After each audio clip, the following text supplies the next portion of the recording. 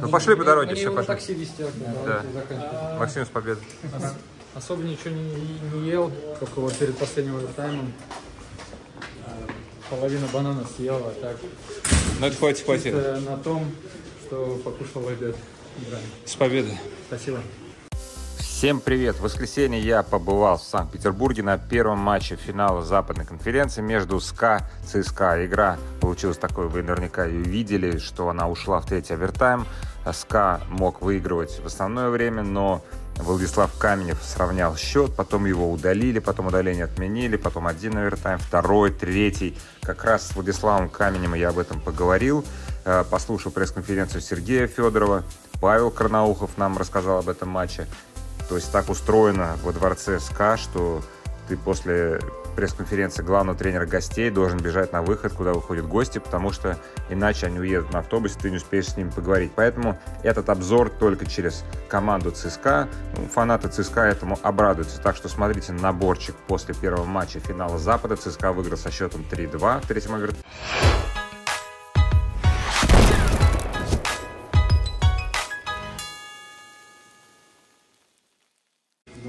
Победой, поздравляем. Живы там? Офигеть, ну вы даете, конечно. Как игра? Да, все видели. Долгая, тяжелая, напряженная, но выиграли. Очень важно. Как распределять силы, потому что это похоже на марафонца, который бежит 100 километров. То есть э, у вас 7, 7, 7 матчей, опять 7 матчей, день отдыха, один выходной, опять два матча в одном. Как распределять силы? Распределять в плане долгого, что вот, game flow. Да, и как играть в долгую, что вы же чемпионы. Ну, тут в первую очередь, понятно, в первом раунде 7, во втором 7, но сейчас такая стадия, что куда дальше загадывать, в принципе, по сегодняшней игре, что игру отдавать, что ли. Не, ну, Поэтому как силы распределяются? На каждую игру, на каждый там, период стараться. По-другому никак. Какие-то, не знаю, бананы, протеин помогают в таких э, овертаймах. Э, Потому что там какие-то, не знаю, напитки специальные, Gatorade, что там нужно. Все, все присутствует. Все присутствует, то это уже по желанию, кто там бананы ест, кто не ест, кто как готовится, поэтому, конечно, все есть. Тяжелейшая серия Северсталь, потом тяжелейшая серия с Локомотивом. Сегодня три овертайма. Э, Тяжелейший матч, кстати говоря, со СКА. Откуда? Откуда у вас вот это вот железо? Но железо... Вот это сталь, стать. Это чемпионский характер, который вырабатывается годами. Ну, наверное, правильно заметили, да, тут, в принципе, команда вся, которая а, кубки поднимала, знает, как это делается и что это делается тяжело, и вот чтобы добиться успеха вот в таких играх, наверное, и проявляется самое, самое важное, просто-напросто опыт, наверное. И тренер по опыт и- физподготовке хороший. В том числе, в том числе, это командный дух, это тоже присутствует. Без этого никак. Момент, когда а, в конце основного времени, я такого не видел никогда, и Федоров сказал, такого не видел. Удалили камни, а потом выпустили на волю. Как вы так, э, не офигели? Не, ну тут на самом деле, в принципе, наверное, судьи правильно сделали, потому что и основное время без удаления, да, и овертайм без удалений, как бы, наверное, только сравняли. И такой спорный момент был э, с первого взгляда, да. И правильно сделали, что посмотрели, потому что, наверное, так бы игру ломать не совсем правильно, не совсем правильно, наверное, было бы. Они перестраховали, свою работу сделали, и, в принципе, все правильно сделали. Кстати, вот это удивительно, что игра, которая была такая, в принципе, в давлении, да, где было много стыков, много борьбы, и действительно ни, уда- ни одного удаления. Вообще на твоей памяти такое бывало? Ну, такой, наверное, вот первый раз, что и в основное время, и долгие овертаймы, и ни одного удаления. Ну, то, в принципе, наверное, уже с начала овертайма правильную стратегию и судьи выбрали, что коль такая игра идет, да, там понятно, что только, ну, стопроцентное какое-то явное удаление, а где-то если 50 на 50, наверное, рисковать, наверное, неправильно, и, и их тоже понять могу. С победой больше не будем держать, с победой. Нас, мы тебя ждем. С победой. Физкуль, привет. Как игра? Блин, это вот э, эхо сегодняшней войны. Да нет, старая. Старая болячка. Как тебе игра? Скорости более очень высокие, Федор говорит. Очень высокие. Ну, я думаю, первые четыре периода да, хорошую скорость показывали. И с нашей стороны тоже все красавцы. Какая 15 игра по счету. Не сбавляем скорости и мне все нравится. 16 даже. Давай по порядку. Ну, две в одной сегодня было. Да, по порядку, смотри. э, СКА вел дело к победе в основное время, но вы дожали. Вот ты забил гол. Как это было? Что вы говорили? Как? Что у вас получилось? Ну, я просто получился такой, ну, как можно сказать, не наигранный. Шайбу подняли наверх, перевели обратно. Я просто под ворота встал и получил. Я думаю, она и так бы залетела в ворота, но получилось попасть перевела в ворота. Поэтому где-то повезло тоже. Ну, я, я считаю, что мы на победу точно наиграли сегодня. Много в овертайме, в каком не помню. Много моментов своих не реализовали. Где-то где-то вратарь хорошо сыграл, но как-то вот не получалось забить. Потом в конце основного времени тебя удалили за этот удар клюшкой. А, момент, конечно, уникальный был. Что ты говорил, судья? Ну, конечно, был недоволен. Ну, был недоволен, да. Нет, я не говорю про, чтобы обсуждали решение судей. А, да Уникальный нет. момент Федоров даже об этом сказал. Никогда ему не видели, чтобы игрока посадили, потом выпустили. Ну да, кстати. Это ч- когда такое было? Не ожидал такого тоже. Бывало, конечно, что игрок, может, находится на льду и ждет этого, и они совещаются. Не то, что, чтобы так. Ну, хорошо, что приняли правильное решение, я бы сказал. И не было удаления. Нестер очень спокойно вел себя перед такой супер тяжелой серией, которая была вроде бы должна быть очень напряженной. Мы это между собой обсуждали. Капитан такой подмигивал, гол забил победный. Насколько вам помогает то, что даже не он, а вы, наверное, может быть, все на таком, с одной стороны, релаксе, с другой, вы очень собранные.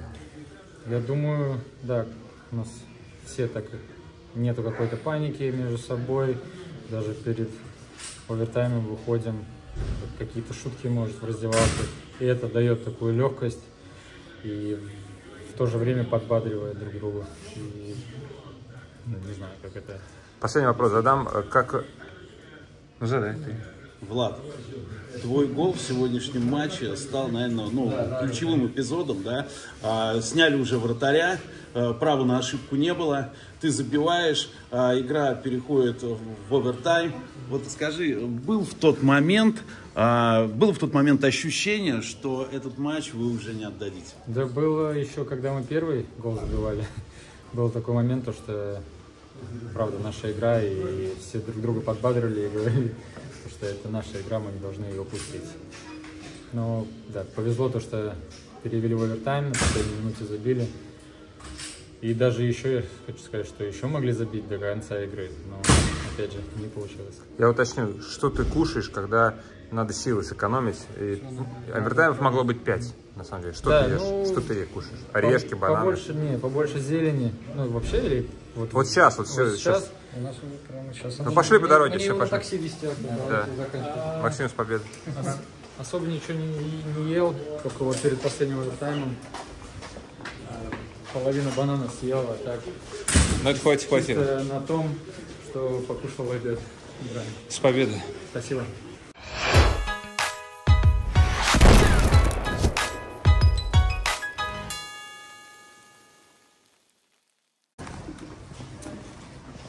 Здравствуйте, добрый вечер. Спасибо.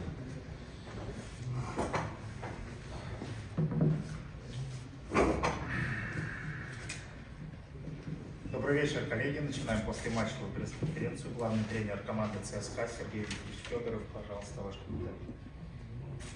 Наша команда с победой. Все-таки 6 периодов есть 6 периодов. Э, Спасибо большое болельщикам за поддержку. Это ощущалось, чувствовалось. Хорошая, быстрая игра. Обе команды стремились э, двигать шайбу в зону соперника. Соответственно, было определенное давление на наших, наших защитников. Вроде справились, справились неплохо. А, Как ни странно, я считаю, сэкономили кучу энергии, потому что тоже двигали шайбу вперед, а они слева направо и справа налево. Поэтому у нас победы. Готовимся, отдыхаем. Спасибо.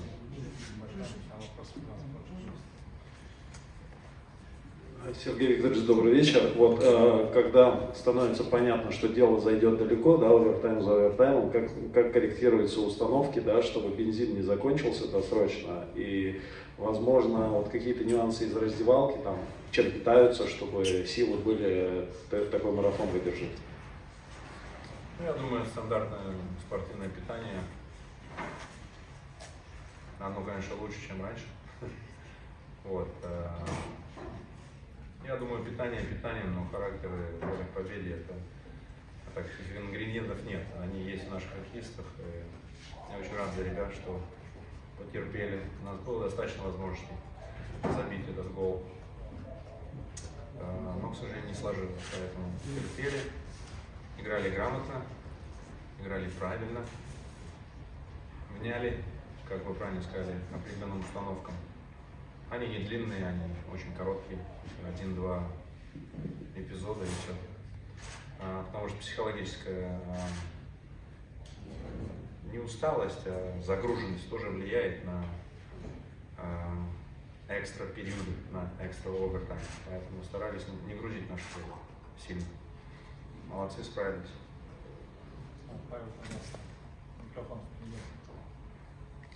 Поздравляю, поздравляю с победой. А, момент тот самый, когда хочется спросить из года в год, постоянно говорят о том, что эти овертаймы надо менять, потому что и телевизионную сетку тяжело вместить, и люди уже уходят с трибуны, а, и 4 на 4 играть, 3 на 3, как-то так что-то изменить. Вы человек опытный, как хоккеист проходили это в НХЛ. Как вы относитесь к таким разговорам о реформах? Или вы считаете идеально то, что есть? Потому что у вас на самом деле мало времени. Седьмой матч, пару дней отдохнули, еще два матча подряд провели. Ну, хоккеисты тоже не железные. Концовку вопроса сразу говорю, мы не ведем тот багаж, который с нами случился. Ну, Паш, честно, если от меня что-нибудь зависело, я бы тебе, конечно, ответил популярно на этот вопрос. Вот все детали разложил бы от и до. Но, к сожалению, от меня ничего не зависит, поэтому не буду тратить ваше время. Сергей Викторович, с победой. Достойная игра. Два небольших вопроса по тактике в последнем коротком периоде Максим Соркин играл и в своем звене, и, соответственно, вместо Влада Каменева. Объясните, пожалуйста. А, я думаю, у Влада а, какие-то проблемы были а, с лезвиями коньков. То есть он вышел из раздевалки, вышел на лед, потому что они начинали, его звено. И видно, что-то его не устроило в плане лезвий. И он пока менял, мы быстренько переориентировались. Я понял. Второй вопрос по тактике. Вот в основное время дополнительно это было не так очевидно. Э, соперник после первого же после первой же смены накладывал на звено Влада Каменева, соответственно, Гребенщикова, Полякова и Комарова. Для вас это было неожиданностью или это читаемо, в принципе, было? Ну, разбирая команду с до серии, мы понимали, что во втором периоде и та, и другая команда будут делать наложение. К сожалению, а, достаточно было моментов а, у команды СКА, чтобы это сделать. Там не обязательно звено Влада Каменева. А, в принципе, это игровой такой момент, я думаю, когда ты свеж, ты можешь что-то сделать достаточно серьезное. Поэтому ближняя лавка, когда к зоне атаки все команды и в лиге, и с теми соперниками, которыми мы играли, используют этот прием. Пускай тоже это делать. Мы стараемся это тоже делать. Поэтому я думаю, это не так персонально отвечая на вопрос, но это да, случилось против звена э, Каменя. Еще один момент, который мог быть ключевым. При счете 2-2 на последней минуте основного времени удалили Каменева, и потом судьи это удаление отменили. Удивительный момент, на самом деле, я такого не видел. А как вы это восприняли, что они судьи вам объяснили в этот момент? И такой момент очень интересный. Вы знаете, нам для вас интересно. А для нас он был а, тоже интересный с той точки зрения, что мы связались со своими, так сказать, а, помощниками, и нам сказали, там ничего не было. Но если все равно нас удалили, мы привыкли к таким эпизодам, к таким моментам, поэтому что ты скажешь. Игра есть игра, и решение арбитра – это решение арбитра. Не помню ни одного случая, чтобы в случае принятия решения что-то было отменено. Но в данном случае это необычный случай. Арбитры четко разобрались, четко сработали и не увидели никакого а, а, плохого действия со стороны нашего игрока. Так сказать, выпустили его на волю. А, Сергей Викторович, вот по удалениям, да, наверное, очень редкий случай, когда ни одна, ни другая команда ни разу не, удаля, не удаляется в основное время. Вообще, ну, на ваш взгляд, чем вызвана такая чрезмерно корректная, да, понятно, что градус ответственности, вот, но это все равно редкость. Я думаю, игра была от ножа. Я считаю, скорости были огромные. Ну, просто обе команды здорово двигаются, здорово готовы. И, в принципе, я, я не думаю, что было много таких моментов, за что можно было удалить. Хотя задержки и с той, и с другой стороны были. Но, как я уже сказал, арбитры делают свою работу, мы свою. Тут, э, честно, ну, в моем лице на не сказал, об этом как бы не думал. Просто реагируем на ситуацию э, во время игры. И стараемся сделать э, все возможное и выпустить правильных ребят, чтобы нивелировать это, так сказать, э, э, удаление, чтобы нам не забили. И еще один момент. Вот очень бодро начали первый период, хотя, казалось бы, у вас две семиматчевые серии да, за плечами, АСКА отдыхал с 22 числа, да, то есть они должны были быть свежее. А правильно ли я понимаю, что просто ставка была на активное начало, побольше позабивать, но это не, не получилось сделать? Спасибо. Как я уже сказал, багаж есть багаж, две серии мы отыграли, но после одного выходного, как ни странно, и следующей подготовки к этой серии в принципе, психологически мы не везем эти серии с собой. Разные соперники, разные, разные игры, разные по накалу игры, разные скорости. И не в плане тех, тех команд, которые мы прошли, что они были как-то недостаточно организованы или готовы. Наоборот, просто это все по-другому в новой серии. Поэтому мы психологически готовим команду. Это одна из э, наших э, важных составляющих. И в принципе, э, как я уже сказал, давно я сказал про это. Мы начали сезон чуть позже. Мы провели определенную предсезонку. В декабре, в январе мы не провалились в плане физически, как мы себя чувствовали. Мы понимали, что у нас прошлый сезон затянулся, и начинать рано следующий сезон нет смысла и также давать определенную нагрузку ребятам, чтобы в декабре-январе почувствовать, что мы где-то не там, где мы хотим быть. Ну и в конце сезона мы э, четко понимали, что у нас э, хороший фон физический, ну и, соответственно, психологический. Тем не менее, конечно, вы можете сказать, мы сыграли два раунда по 7 игр, но отдать должное соперникам это не прогулка в парке, они все готовятся, все на нас настраиваются. И а, это нас закалило. Поэтому я думаю, что мы не думаем, что произошло. Сегодня мы, не знаю сколько времени, даже до 12 ночи тоже порадуемся, попереживаем друг за друга. Надеюсь, без больших шишек и синяков. И завтра будем уже готовиться к новой игре, как будто мы только начинаем серию. Спасибо. Будут еще вопросы? Спасибо.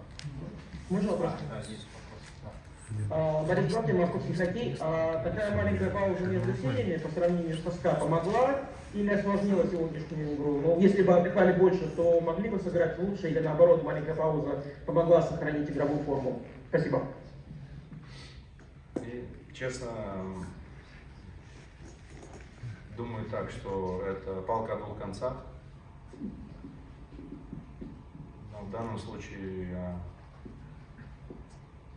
я считаю, что первый период мы провели достаточно активно. Не только потому, что мы э, были а, в игровой форме, но и потому, что мы очень грамотно и правильно играли и распоряжались шайбой. То есть шайба была впереди наших э, игроков, и, как вы все знаете, вперед бежать намного легче, чем в другую сторону, когда шайба за твоей спиной. Спасибо. Еще один вопрос, если позволите. Да.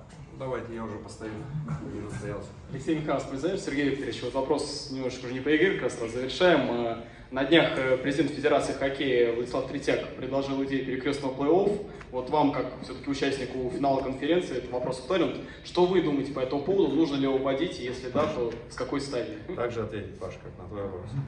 Ничего от меня не зависит, спасибо. Спасибо большое.